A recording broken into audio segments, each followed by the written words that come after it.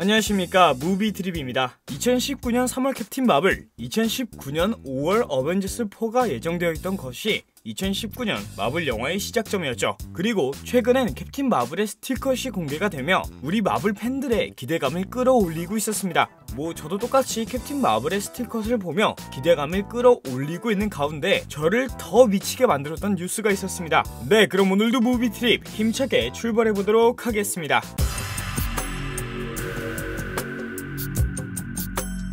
캡틴 마블의 스틸컷만큼이나 저에게 충격을 가져다 주었던 뉴스는 바로 어벤져스 4의 개봉일이 당겨질 수도 있다는 뉴스였습니다. 아니 여러분들 어벤져스 4의 개봉일이 당겨진다고요?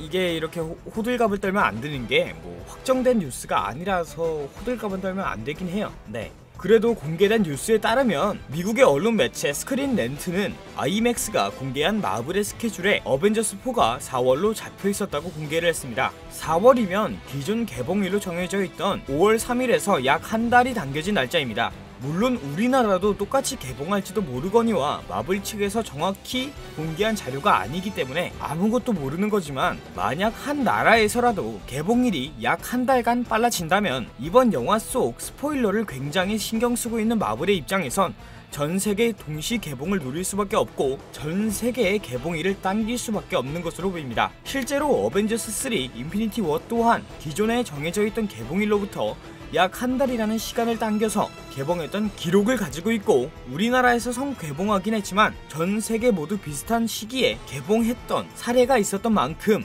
이번 어벤져스 4 또한 기존 개봉일로부터 앞당겨서 개봉하지 않을까요? 진짜 어벤져스4 일찍 개봉하면 저는 보고 쓰러질 수도 있습니다. 그래도 그냥 일찍 개봉했으면 좋겠어요. 음, 진짜로. 지금까지 저는 무비드립이었고요. 저는 다음 영상에서 돌아오도록 하겠습니다. 나가시기 전에 좋아요와 구독, 알람 설정까지 해주시면 정말 감사드리겠습니다. 오늘도 시청해주신 모든 분들 정말 감사드립니다.